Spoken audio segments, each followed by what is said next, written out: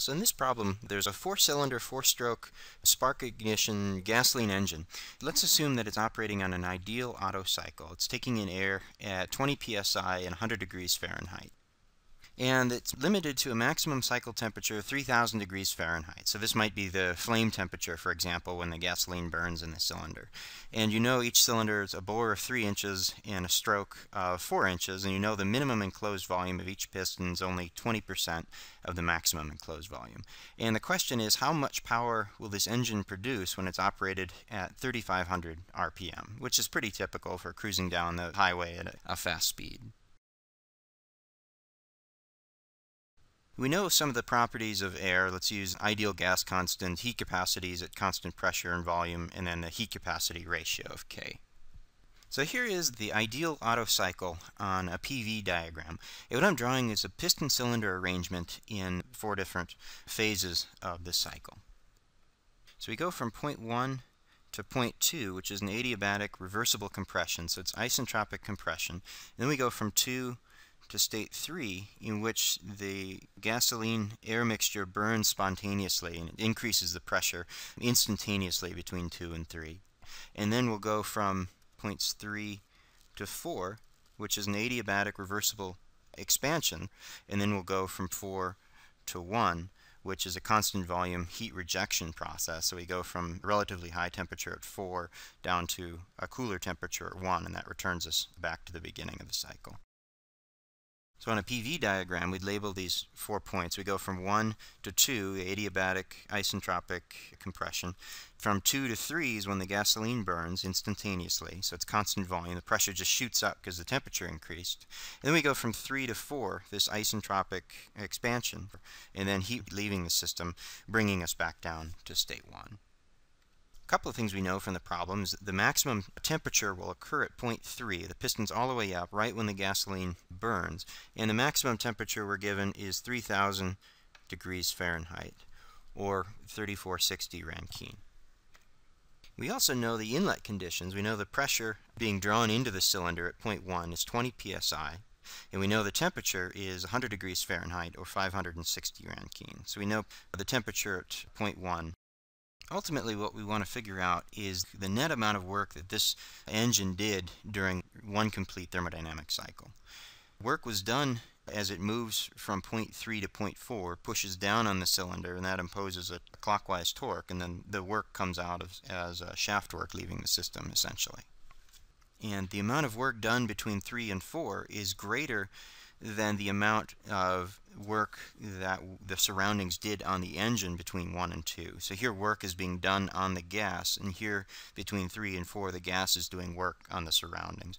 And between 3 and 4 is what we're really interested in for the, the work leaving the engine. So it's a difference between 3 to 4 and 1 to 2 is a net amount of work that was generated. So if we do an energy balance on the system, and I'm just drawing a block for the engine, We've got heat entering the system, so we've got Q in, and heat leaving the system, Q out. And we've got a net amount of work leaving the system. So the energy balance shows that the amount of heat entering the system has to equal the amount of work leaving the system plus the amount of heat leaving the system. So all the energy in has got to equal all of the energy out. We'll solve for the net amount of work leaving the system is simply the difference between Q in and Q out. So on our diagram, Q in occurs between steps 2 and 3. And if we drew it on the PV diagram, here was Q in between 2 and 3. And Q out occurs between 4 and 1.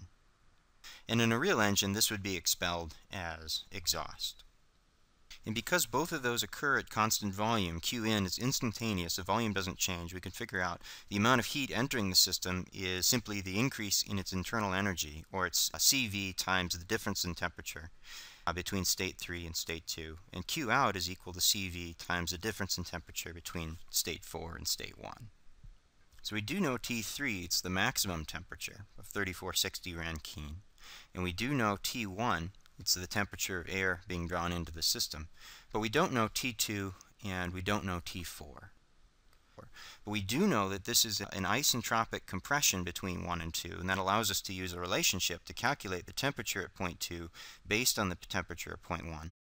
between states 3 and 4, we do know that this is an isentropic expansion. So we've got a relationship now to calculate the temperature at 4 based on the temperature at 3. So here's a relationship between T2 and T1. It's this um, isentropic compression, and we set delta S equal to 0, and if it's an ideal gas, we can use this relationship. And if I plug in numbers, I, a temperature of 1,070 degrees Rankine. So we now know T2 Similarly, I can write an expression for T4 based on T3. And if I plug in values for T4, I come up with a temperature of 1820 degrees Rankine. Now, incidentally, this ratio, this 1 over 0.2 and this value of 0.2 is based on the fact that the volume at state 2 is only 20% of the volume at state 1, which was specified in the problem statement. Substituting Q in and Q out, I come up with this expression. I'll plug numbers in for these four temperatures and the heat capacity constant volume. And what I come up with is the net amount of work leaving the system is 193 BTUs per pound mass of gas that's within the cylinder.